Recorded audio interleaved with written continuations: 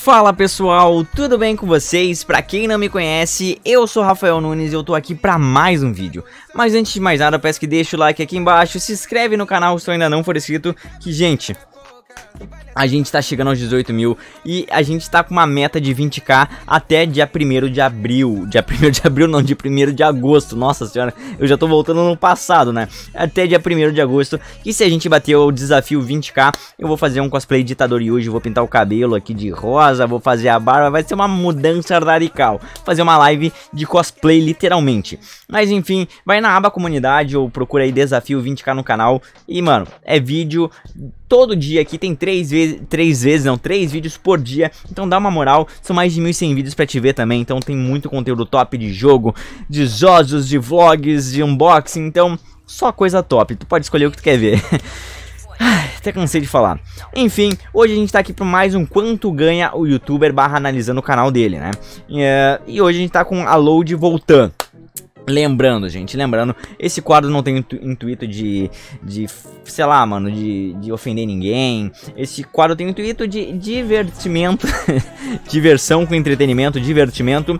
E obviamente que única, as únicas pessoas que sabem literalmente as métricas delas são a própria Load Voltan e o, e o YouTube, né? Ou quem ela compartilha também as informações. Mas enfim, então esse caráter é mais é entretenimento e enfim, se eu se ela se sentir ofendida por alguma coisa que eu disser, me desculpa, gente, mas é só vamos analisar na brincadeira. Lembrando que é sempre uma métrica, então esses dados com certeza não estão certos. A gente sempre tenta se aproximar o máximo possível para mostrar para vocês, beleza? Enfim, dito isso, a gente vai pra telinha aqui de direct dizer, ah, gente, antes deixa o like e se inscreve aqui e já comenta qual outro youtuber tu quer ver, beleza?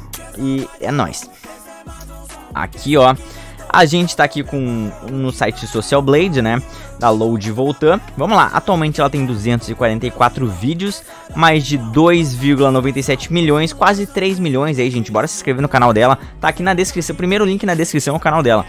Tem mais de 91 milhões de visualizações. O tipo de canal é games, ela se inscreveu em 12 de agosto de 2019. Faz pouco tempo e ela tá bombando, né? Bastante. Vamos lá. Ah, nos últimos 30 dias ela teve mais de 20 mil novos inscritos e mais de 942 milhões de visualizações. Ou melhor, 942 mil visualizações, né? O que é muita coisa. E o que vocês querem saber, já vamos de cara, os ganhos mensais estimados. Lembrando, gente, uh, é um ganho mensal estimado, ou seja, nunca vai ser esse mínimo que é 236 dólares e nunca vai ser o 3,8 mil dólares. E também não conta outros canais, parcerias, Instagram, é só o canal no YouTube, tá gente? Eu sei, ah, mas ela ganha muito mais beleza, mano, é só uma estimativa do canal dos dados que a gente tá recebendo aqui. Então, Uh, varia entre 236 dólares a 3,8 dólares. Como eu disse, é um meio termo disso. Eu chutaria que ela tá ganhando mil dólares. É um, é um bom dinheiro.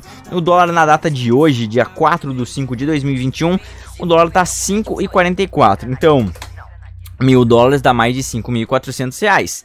E lembrando, gente, o dólar muda todo dia, para quem não sabe, e esse dinheiro ele nunca vai ser limpo. Tem taxa de câmbio, taxa de conversão, tem imposto de renda, tem um monte de, de tarifas aí que vai, que vai ser descontado, tá, gente? Então esse dinheiro nunca vai ser limpo e nunca vai ser esse, tipo, redondinho.